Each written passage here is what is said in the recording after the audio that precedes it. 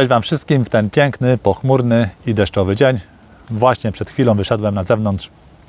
nagrać filmik i przy okazji złapał mnie deszcz, chociaż teraz to już raz pada, raz nie pada, ale na szczęście poczciwa, piękna jabłoń udziela mi, tutaj przed tym deszczem schronienia, więc nawet gdy, gdyby się rozpadało, powinno być e, ok. Przy okazji zobaczcie, jakie piękne jabłka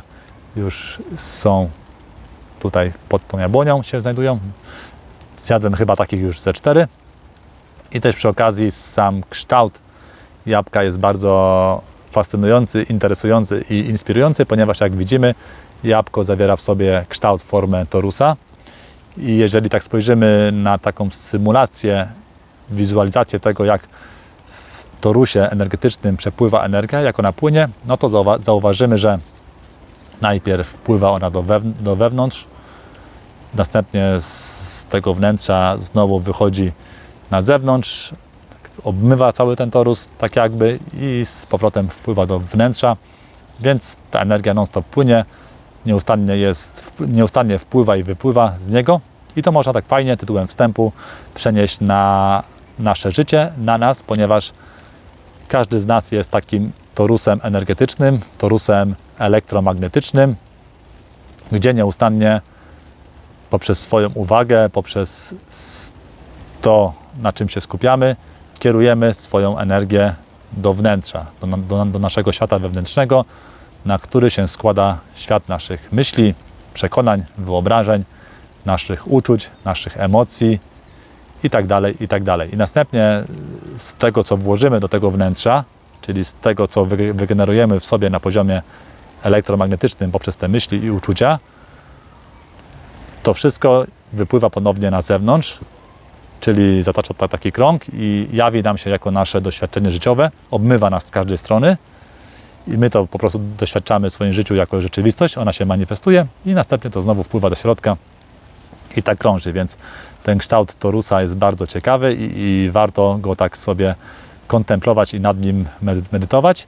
I jak jeszcze tak się tutaj cofnę do, do tematu jabłek, to sama jabłoń była ważnym, też często świętym drzewem w wielu tradycjach. Między innymi tutaj w Wielkiej Brytanii dla druidów było to święte drzewo. Nawet ta ich słynna kraina, wyspa Avalon, dzisiaj też często kojarzona z miejscowością Glastonbury, ze wzgórzem Tor, to wyspa Avalon też często była nazywana wyspą jabłek. No i ta jabłoń tam ma też takie swoje tutaj yy, wysokie miejsce, jeśli chodzi o tra tradycję druicką czy też celtycką. No i tu mnie tak ciekawi, czy też właśnie druidzi sobie zdawali sprawę z tego torusa, kształtu torusa, z tego jak po prostu, jaki jest model funkcjonowania energetyczny rzeczywistości. To taka ciekawostka y, i tak tytułem wstępu też. No właśnie, dzisiaj chciałem tutaj trochę opowiedzieć o tym, co moim zdaniem jest bardzo ważne w obecnych czasach. Kolejna fundamentalna i kluczowa rzecz, jeśli chodzi o procesy, przez, przez jakie przechodzimy, o, o to, co jest ważne, jeśli chodzi o nasz rozwój, na czym się warto zatrzymać i na czym warto skupić swoją uwagę. A mianowicie jest tym utrzymywanie takiej wewnętrznej czystości, wewnętrznej, wewnętrznego rozświetlenia, skupienia się na swoim świecie wewnętrznym w obliczu tego, co się dzieje w naszym tutaj świecie zewnętrznym. I zarówno indywidualnie, a także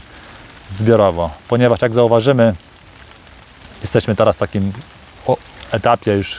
końca tego starego cyklu, gdzie ten stary świat się na naszych oczach kończy. Wszystkie stare schematy, wzorce, na jakich ten świat funkcjonował, ulegają wyczerpaniu i wygaszeniu. Kończy się wszystko, zaczyna wszystkiego brakować. Oczywiście to też wszystko jest gdzieś tam sterowane i sztucznie aranżowane, inscenizowane, ale to nie o tym dzisiaj mowa.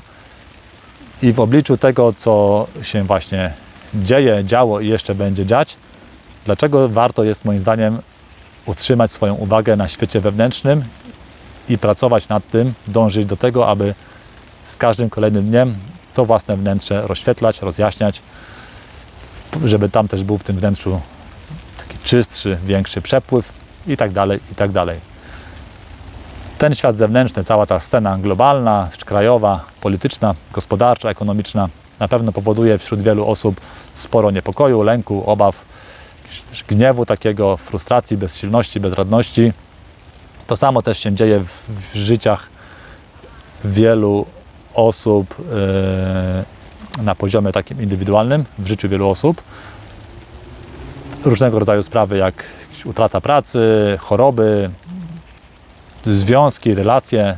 międzyludzkie, takie intymne.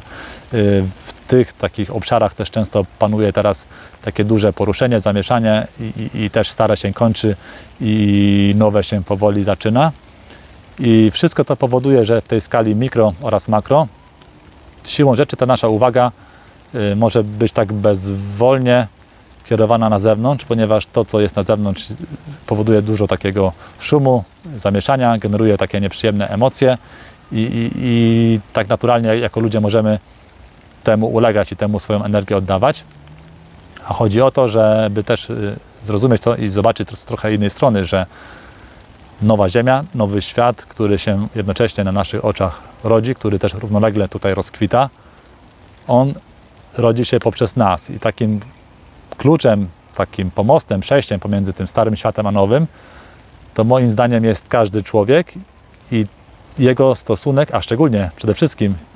w sumie wyłącznie jego stosunek, jaki on ma względem swojego świata wewnętrznego. Ponieważ jak w tym torusie, w, tej, w tym przepływie energii, to co teraz jako ludzie będziemy wkładać do własnego wnętrza, jakie myśli, jakie emocje, jakie przekonania na temat tego, czym jest rzeczywistość, jaka będzie nasza, nasza przyszłość, kim jest drugi człowiek, jaka jest nasza rela, relacja międzyludzka, co nas łączy, co nas dzieli i tak dalej. Więc to, co będzie, jest i będzie teraz wrzucane do wnętrza każdego człowieka, jest tym nasionem, tym ziarnem, tą energią, którą zamanifestuje się jako nasza rzeczywistość, jako ta nasza też przyszłość. Więc e, tak naprawdę nowa Ziemia nie jest czymś, co przyjdzie z zewnątrz, nie wiadomo skąd i się po prostu stanie, tylko jest i będzie wynikiem, efektem tego, co my, ludzie w sobie będziemy indywidualnie pielęgnować, hodować, tak to można nazwać, rozwijać, na czym się będziemy skupiać. I nie tyle ważne jest to, co się obecnie dzieje,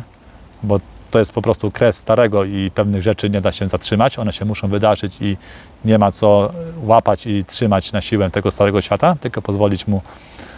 odejść, błogosławić jemu, żeby po prostu już tutaj się e, całkowicie skończył, żeby te stare wzorce w sensie już się rozpuściły, rozmyły. Tylko właśnie ważne jest to w stosunku do tego, co się obecnie dzieje, jaka będzie nasza wewnętrzna postawa, relacja z samym sobą, z własnym wnętrzem. I ten czas ja widzę tak, że dla wielu on jest i będzie inny. Generalnie wszystko, co się dzieje, jest bardzo względne. Rzeczy po prostu się dzieją, zarówno w skali tej tutaj globalnej, krajowej, jak i w naszym życiu indywidualnym. I wszystko się sprowadza do wyboru, jaki człowiek,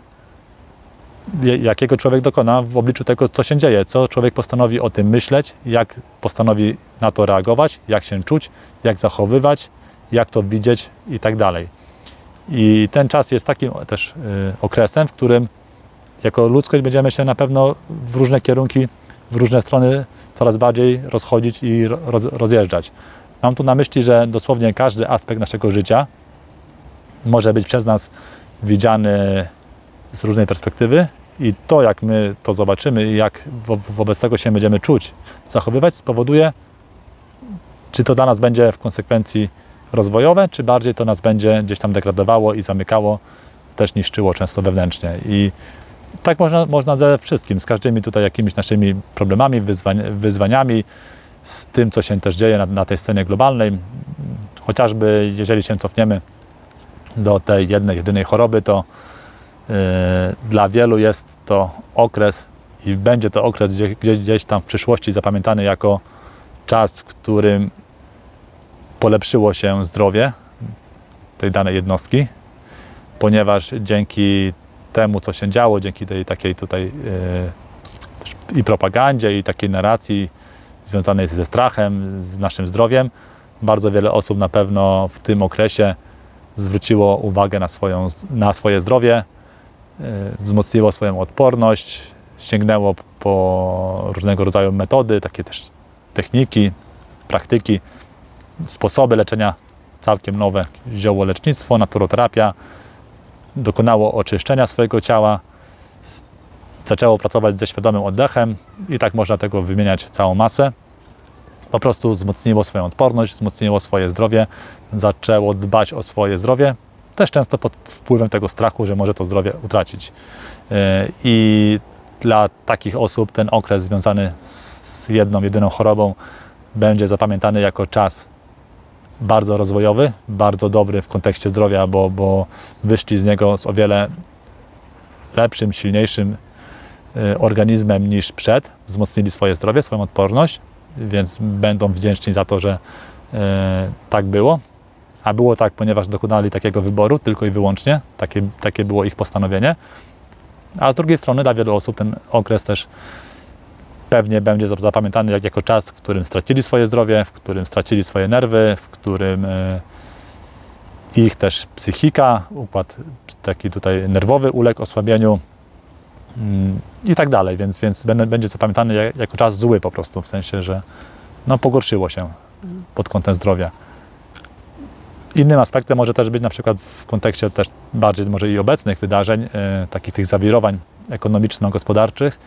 może być y,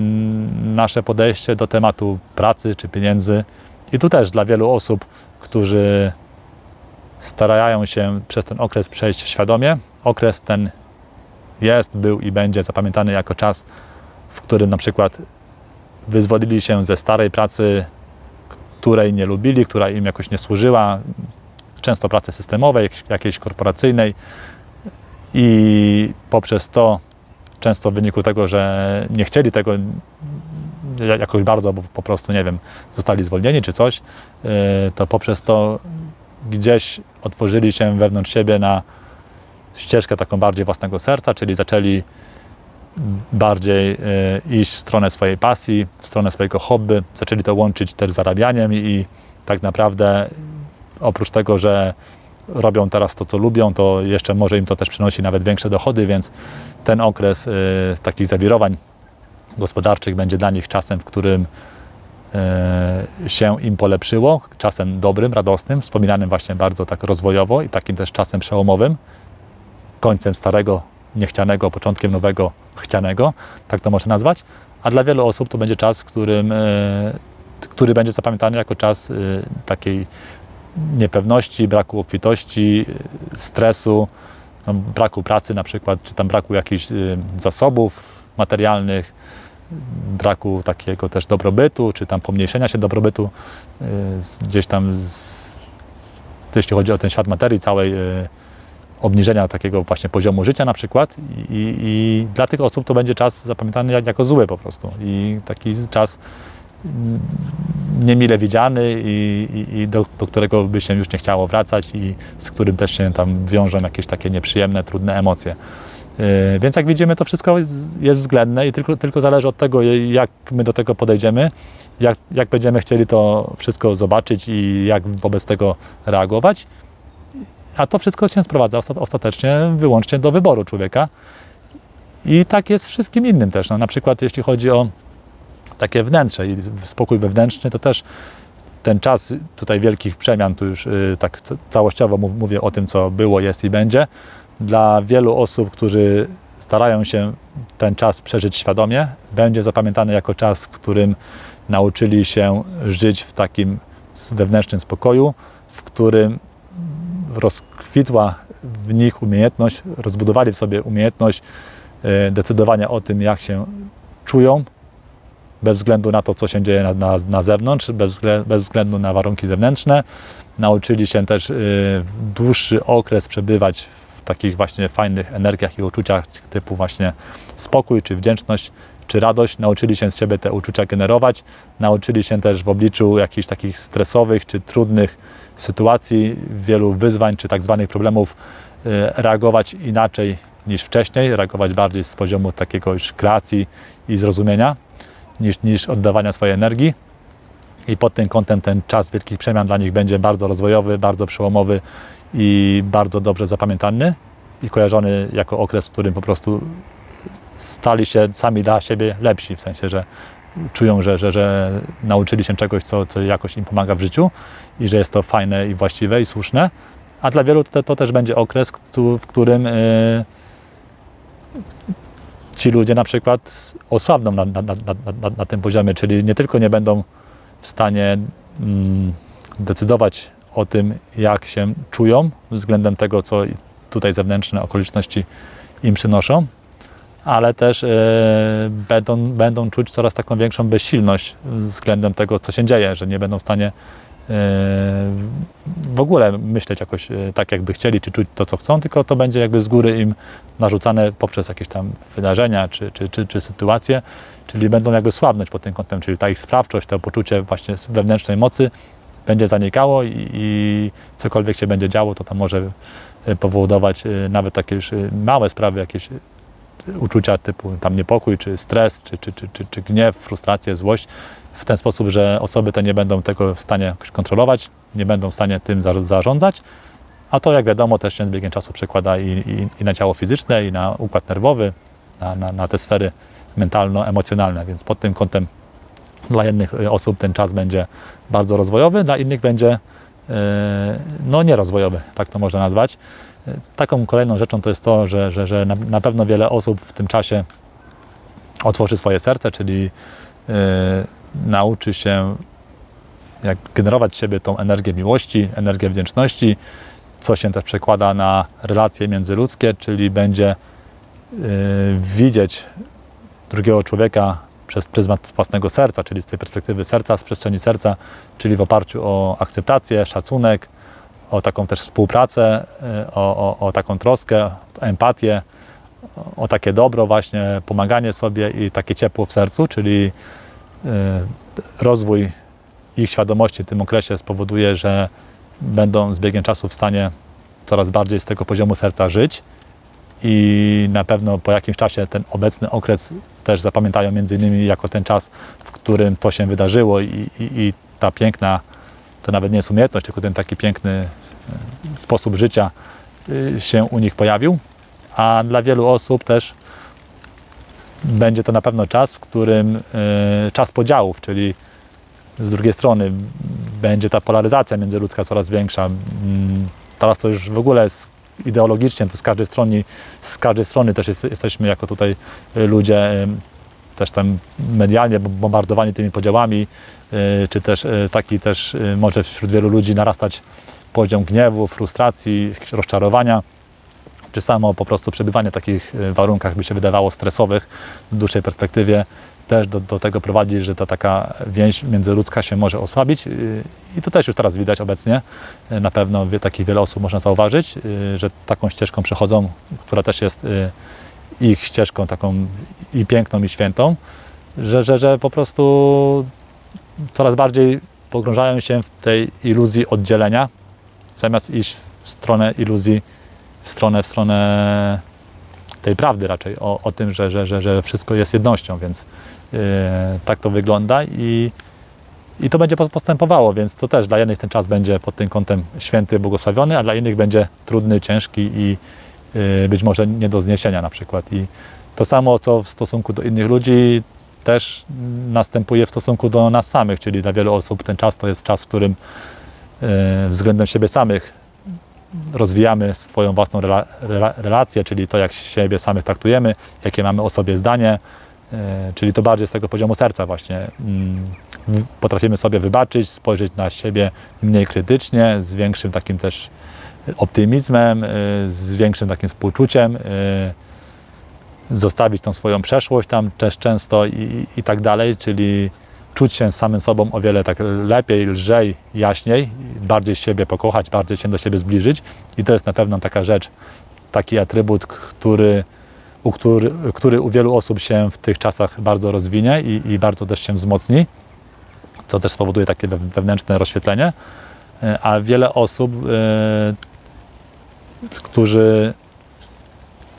dokonają, dokonują innego wyboru, albo też y, gdzieś na poziomie nieświadomym to się w nich dzieje, w tą relację z samym sobą będą mieć coraz taką trudniejszą, czyli y, ten strumień mentalno-emocjonalny przejmie kontrolę coraz bardziej, egotyczny umysł i te wszystkie tutaj te, te głosy umysłu będą coraz głośniejsze i tego typu tam postawa oparta na krytykowaniu samego siebie, emocje typu żal, gniew, smutek, złość, wina i tak dalej względem siebie mogą się pojawiać, rozczarowanie też względem samego siebie, no tego typu rzeczy, więc y, to też na pewno jest taki, taki obszar, gdzie wśród wielu ludzi będzie właśnie to szło w jedną stronę, a wśród wielu w inną stronę. I to kwestia jest właśnie wyboru, pracy nad sobą i też jak ze wszystkim innym postanowienia, czym ten czas dla mnie jest, jak go zamierzam przejść, w jakim kierunku chcę się rozwijać. Po prostu co, co wybieram. I takich rzeczy jest o wiele więcej, nawet sam stosunek z teraźniejszością to dla wielu osób obecny okres tych przemian to jest moment, w którym jako ludzie nawiążą taki głębszy związek z teraźniejszością, bardziej wejdą w ten bezczas, w teraźniejszość, w tą obecność, e, staną się jakby połączeni bardziej przez to z życiem, stopieni, splątani z, z życiem, z tą energią całą, która jest I, i, i tak ten czas też zapamiętają gdzieś tam w sobie w przyszłości. A wiele osób też pójdzie w drugą stronę, gdzie E, jednak zamiast tego wejścia w teraźniejszość, czyli wychodzenia z umysłu i wchodzenia w serce i poprzez ten portal serca, przestrzeń serca, łączenia się z życiem, to osoby te pójdą bardziej właśnie w ten egotyczny umysł, czyli w ten mental, w ten strumień myśli, e, w te wszystkie, w całą tą biegunowość, dualizm, jaka jest w umyśle, e, związane z tym wszystkim jakieś osądy, przekonania, postawy, też względem, względem siebie samego, względem innych ludzi, Czyli wszystko to, co powoduje, że jesteśmy jakby odłączani od teraźniejszości, czyli wchodzimy w ten mentalny, mentalno-emocjonalny taki nurt, strumień i, i, i, i, gdzieś tam żyjemy pomiędzy tą przeszłością a przyszłością, z daleka od teraz, w swoich tam mentalnych etykietkach, wyobrażeniach, interpretacjach, po prostu w swojej głowie, w emocjach też tych takich niskowibracyjnych, nieprzyjemnych, w osądach i w opiniach i nieustannie w, w głowie a nie w teraźniejszości, więc też e, wiele osób poczyni krok w tą stronę, aby się z teraźniejszością połączyć i skomunikować, a wiele osób w drugą stronę, aby się jeszcze bardziej od niej odsunąć i wejść w iluzję tego czasu i, i, i w te mentalno-emocjonalne wszystkie hologramy różnego rodzaju. Więc to jest taka sprawa, no i generalnie też to tak już e, bardziej całościowo mówiąc, to wiele osób na pewno w tym okresie doświadczy takiej wewnętrznej wolności, wewnętrznej czystości, wewnętrznego rozświetlenia, poczucia wewnętrznej takiej mocy, sprawczości, mocy kreowania rzeczywistości, czyli przebudzenia tej świadomości poprzez dokonany wybór, aby w tym kierunku iść, poprzez pracę nad tym wszystkim, czyli to takie piękne poczucie wewnętrznej wolności i światła, bycia światłem, a, a wiele osób jeszcze bardziej się za topi i zapętli w różnego rodzaju ograniczeniach, w różnego rodzaju też takich y, własnych iluzjach, y, które po prostu na jakimś poziomie tam nas zniewalają, zamykają, ograniczają, utrudniają ten przepływ energii w ciele i tak dalej, i tak dalej. Więc, więc, więc y, to tak chciałem Wam pokazać, że to wszystko, co się dzieje jest względne, że rzeczy po prostu są. I zarówno indywidualnie, jak i kolektywnie, jak już mówiłem, i tylko od nas zależy,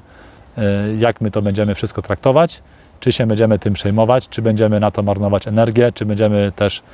e, poświęcać energię temu, na co za bardzo nie mamy wpływu w danej chwili, i czy jednak skupimy się na kierowaniu tego, czego chcemy w swoim życiu doświadczać, czyli na kierowaniu tej energii do własnego wnętrza i generowaniu w sobie, z siebie, jako ten torus energetyczny, takiej jakości myśli, takiej jakości uczuć, takiej jakości wyobrażeń, przekonań, też często dotyczących przyszłości naszego świata, kierunku, w jakim zmierzamy, jako tutaj całość, jako raca ludzka. Wszystko właśnie w takim kierunku, w takich, tutaj w takich jakościach, jakie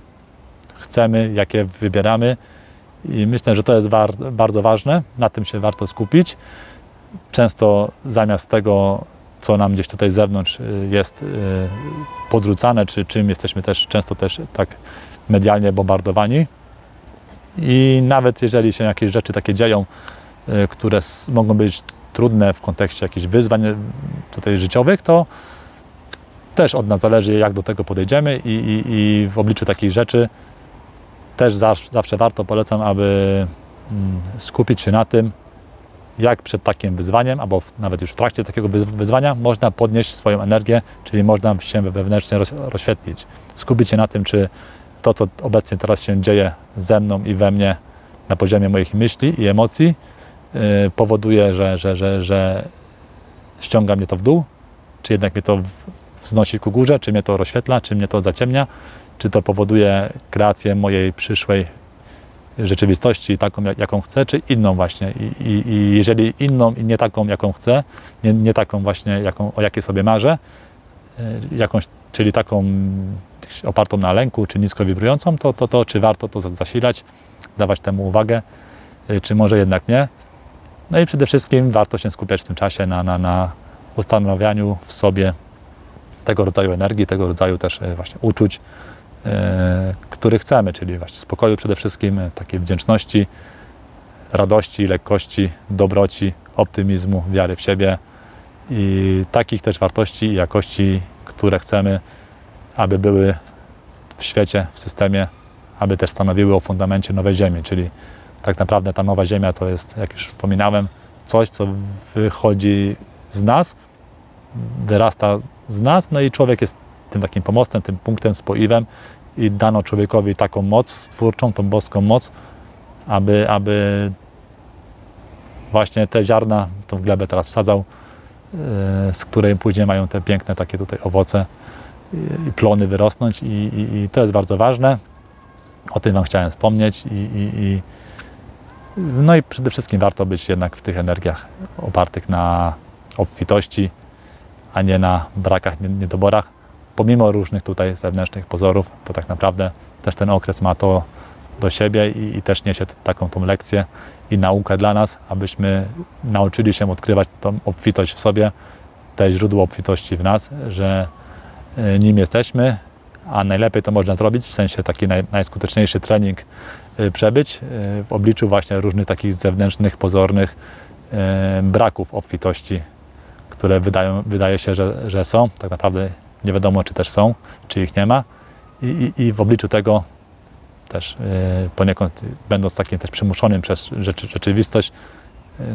moim zdaniem najłatwiej też, najskuteczniej jest odkryć w sobie te źródło obfitości, ponieważ gdyby tego nie było, wszystkiego na zewnątrz nas, to też być może e, wiele z osób nigdy by do tego wnętrza nie zaglądało, żeby tam gdzieś szukać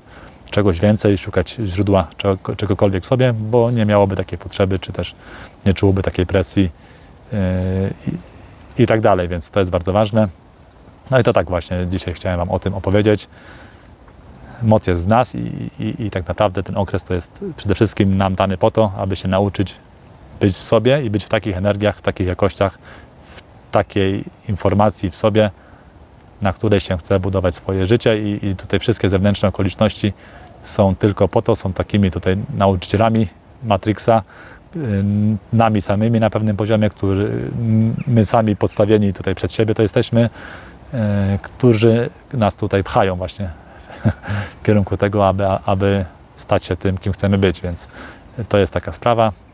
O tym Wam dzisiaj chciałem opowiedzieć. Dziękuję Wam za poświęcony czas na oglądnięcie tego materiału i zapraszam na następny filmik wkrótce. Pozdrawiam.